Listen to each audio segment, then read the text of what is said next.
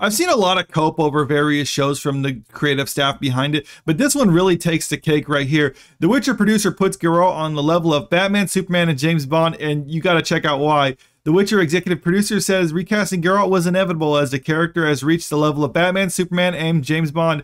Now, that's not why they recast him, but I'll get more into that a little bit because right now this just screams of cope right here from the executive producer of the show. So, Tomek Baginski thinks The Witcher stands alongside Superman, Batman, and James Bond in terms of pop culture influence, highlighting decisions which comes with the territory. Okay, I will say there is a lot of influence with The Witcher because I mean it has the books, it ha- now has a TV show, it has the video games, but I mean it's nowhere near the level of pop culture influence as Batman, Superman, James Bond. I mean, I can ask my elderly parents if they heard of uh, those three characters, and yeah, they know who they are because those characters are prominent when they were kids.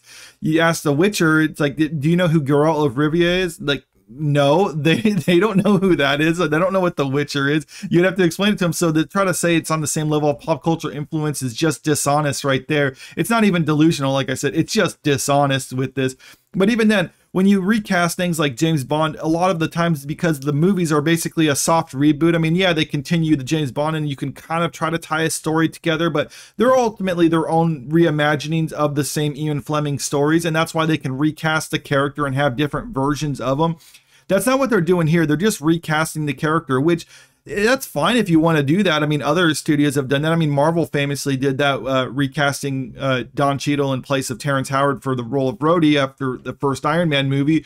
But even then, that's not what they're trying to say that they're doing. I mean, they never said like, "Oh, Rhodey was reached the level of James Bond, so we got to recast him," because that's just stupid. And I'm surprised that he even has the gall to try to explain this excuse. Uh, so he goes on to say that he was on vacation after shooting season three of this, and he didn't know about it until uh, like a few days before the announcement that Henry Cavill was leaving. And he says he doesn't want to go into reasons of why he thinks it happens, but everyone who's been paying attention actually knows why it happens. Ultimately, Henry Cavill wanted to respect the source material and the show didn't. And we even got this other article recently talking about this same producer right here saying that, oh, yeah, they had to dumb down the show because American audiences can't follow complex plots and stuff like that, which is really a terrible way to try to defend your show. It's saying, like, well, people are just too stupid to get it, so we had to make it stupid for them. Despite the fact that a lot of the criticism with the show was simply people upset that they were deviating from the source material and ultimately dumbing it down. I mean, you can't say people want it to be more dumbed down when that was their criticism of the show.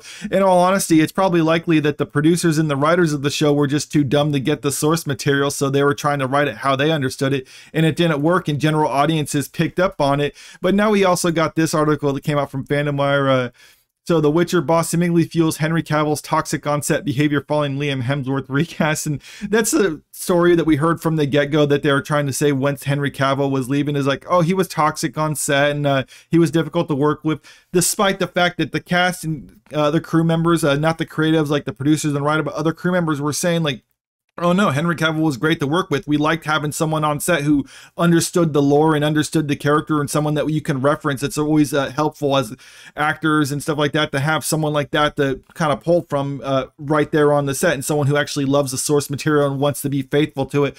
But the thing is, that's not what the writers and the producers wanted to do with the show. They didn't want to be faithful to the source material. They wanted to try to make their own thing. And I can understand to an extent what they were trying to do because Netflix ultimately wanted to have their Game of Thrones. And one thing about Game of Thrones is it's an ensemble cast, whereas The Witcher, it's more or less focused on Geralt here and the producers were trying to obviously deviate from that greatly by uh, trying to focus on other characters and ultimately push Geralt into the background. And Henry Cavill, you can tell in other interviews that he was kind of um, lukewarm about the idea, but he was still trying to be professional. But I mean, I guess after a point, he was like, "We can't do this anymore." Where it's like I'm trying to be faithful to the source material, and you're wanting to change everything up. And I think that's why they wanted to get rid of him. And once they saw all the backlash, it, this is what happens with it. You get this backlash, and now they're trying to under, or trying to justify the mistake that they made with casting Henry Cavill, and that's why with season three, since it was announced before the season started that he was leaving, they're trying to market the whole movie on, or not the movie, the whole show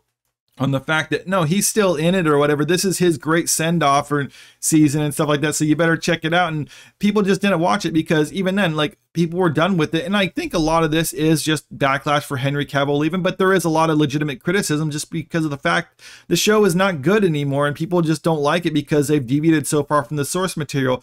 Now, season four and five, I guess, are already greenlit. Whether they're actually going to make those remains to be seen. I mean, I've heard that they're put on hold indefinitely, which means they don't know an exact date when it's going to happen. It's different than being outright canceled, but I mean, it's possible that it will be canceled after season three because they saw how bad this performed and maybe they just don't want to devote the money to it. But if they do continue with season four, I would expect to see it something similar to Witcher Blood Origin because this is basically the writers doing something original, not following any source material, not having anyone on the set who actually is trying to push for them to be faithful to the lore of the Witcher universe. So this is what you're going to get with season four if they do make a season four. Let me know what you think. Do you think that there's going to be a season four of The Witcher or not? And if not, uh, let me know why you think why.